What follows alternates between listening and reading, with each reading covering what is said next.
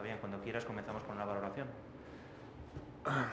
Vale, eh, bueno, partido muy difícil como lo esperado. Eh, Tenerife yo creo que ha tenido el ritmo del partido 25 minutos. Eh, yo creo que sobre todo por nuestra falta de acierto en el tiro de tres.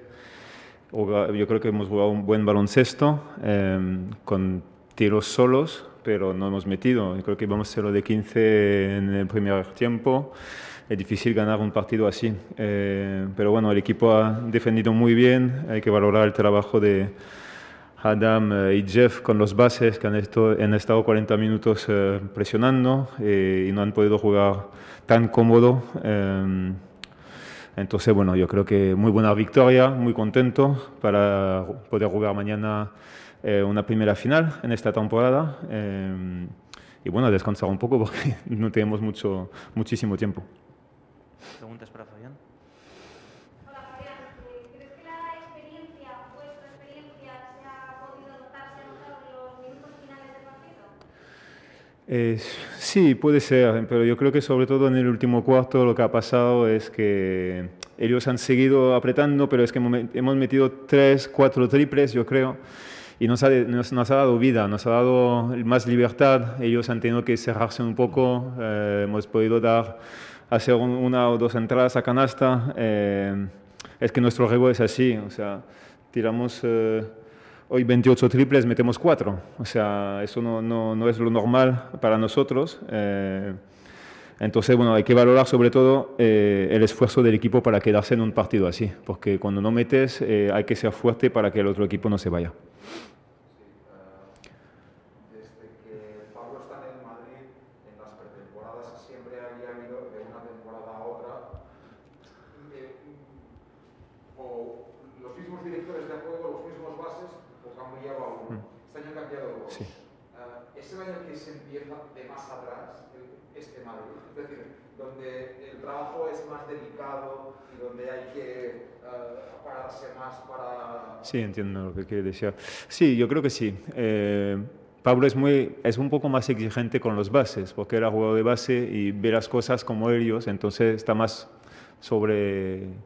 en la espalda de ellos, ¿no? para empujarles. Eh, son dos grandísimos jugadores, tres, no voy a olvidar a Carlos, que lleva una temporada aquí y que nos va a aportar mucho. Eh, pero es verdad que son los que llevan el ritmo del equipo, los que nos van a empujar, los que necesitábamos. Eh, que los dos hagan un buen partido. Yo creo que sobre todo en la segunda parte el momento de, Nigel ha sido muy bueno eh, porque él necesitaba un poco meter canastas para su confianza. No es fácil entrar en un equipo nuevo con gente que lleva tantos años jugando juntos y encontrar su hueco. ¿no? Entonces yo creo que es una adaptación para los dos. Eh, pero bueno, eh, Pablo también les da muchísima libertad en el, juego, en ataque y, y a ellos, bueno, yo creo que les va muy bien. Depende de ellos, o sea, es muy difícil decirlo, yo creo que van mejorando cada día, eh, saben que es un, proceso un poco, eh, pero por ejemplo ganar hoy contra un equipo con el Tenerife, con eh, cuatro nuevos jugadores, no es fácil, no es fácil para nosotros, perdemos a, a Rudy durante el partido, que nos da muchísima tranquilidad con su juego, entonces, y nos falta Anthony Randolph y Trey Tompkins en el interior muy difícil, eh, bueno, no es fácil. Entonces, bueno, eh, valoramos mucho esta victoria, muy contentos, sí.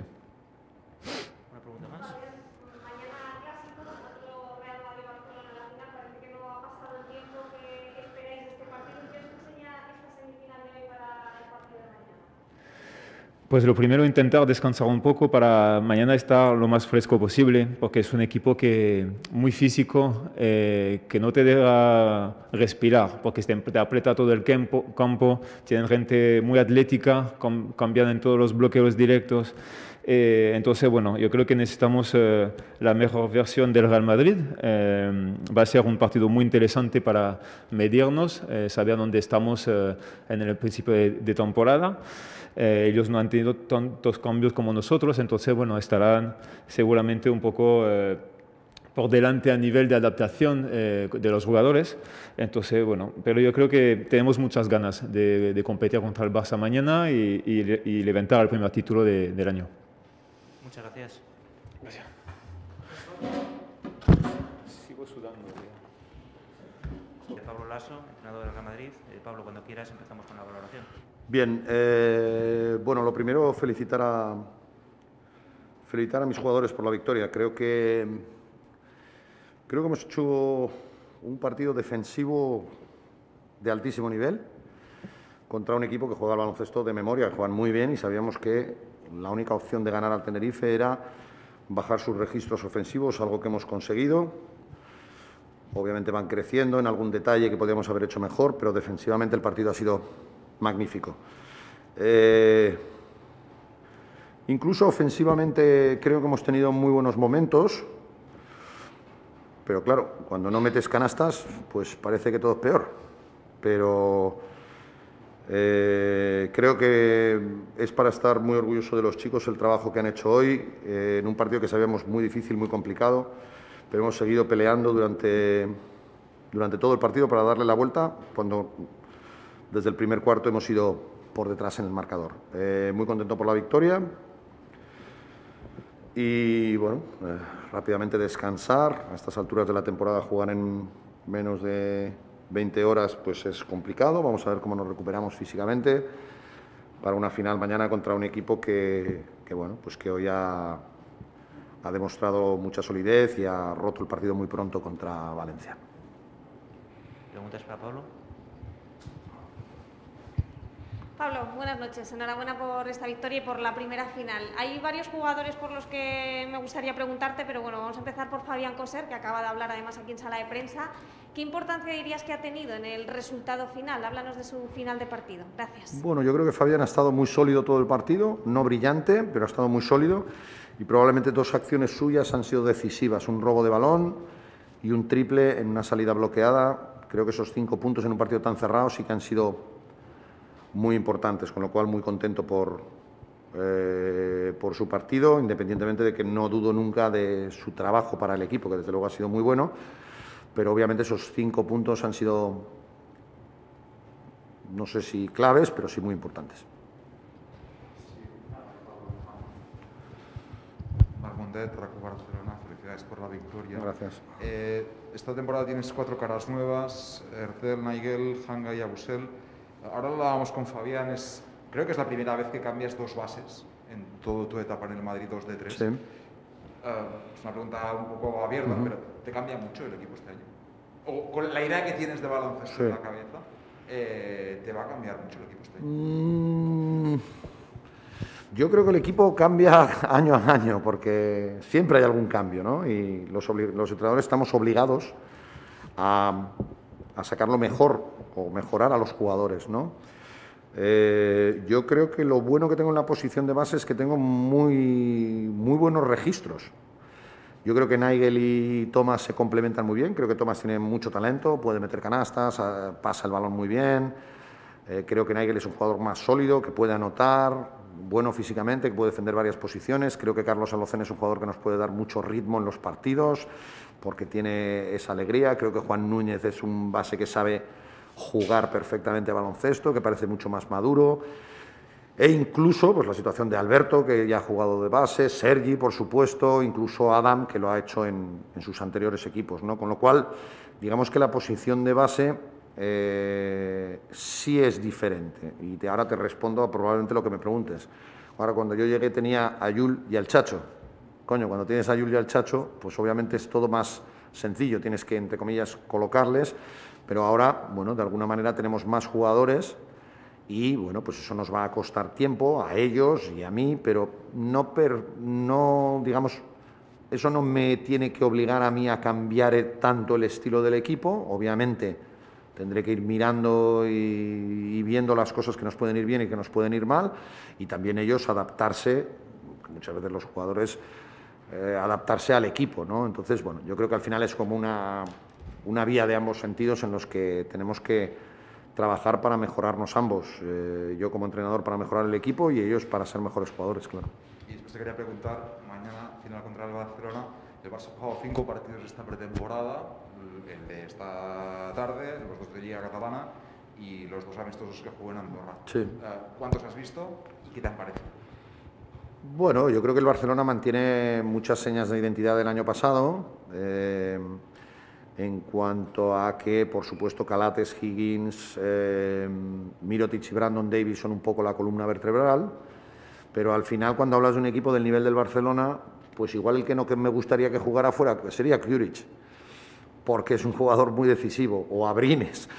Bueno, yo eh, cuando juegas contra un equipo del nivel del Barcelona, sabes que eh, vas a tener que hacer un muy buen trabajo porque tiene grandes jugadores. Eh, sensación de lo que les he visto, bueno, pues que mantienen muchas de las cosas que les ha dado éxito en, en, la temporada pasada, independientemente de ganar o perder, pero la sensación de equipo las mantienen y, por supuesto, tienen grandes jugadores y un gran equipo y sabemos que mañana será dificilísimo ganar a un equipo como el Barcelona, pero bueno, pues también ellos tendrán que pensar un poco en nosotros. ¿no?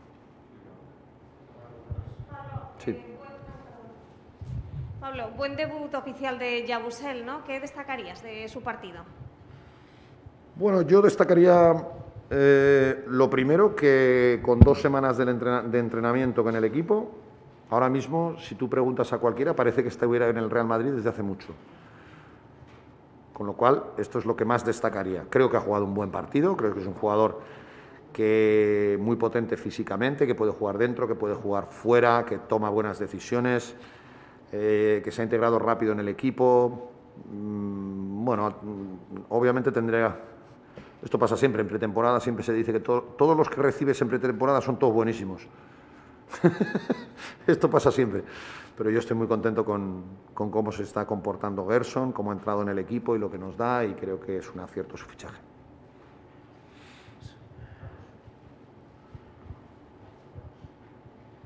Buenas noches, Pablo. Eh, un par de cositas. Te quería preguntar sobre todo si habías estudiado en el scouting especialmente eh, la salida de tiradores de, Lenovo con, con, Sasu y con, y con Aaron, por lo menos los números y la incomodidad que se les dio en la cancha parecía eso. Y preguntarte también por Rudy. Bueno, Rudy le he preguntado y me preocupa, entre comillas, que no haya sido un golpe. Voy a explicar esto. Cuando es un golpe, es un golpe.